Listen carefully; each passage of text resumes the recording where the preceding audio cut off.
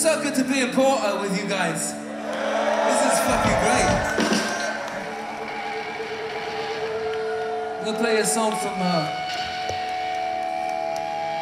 from my World's Strongest Man album. This is called Deep Pockets. Thank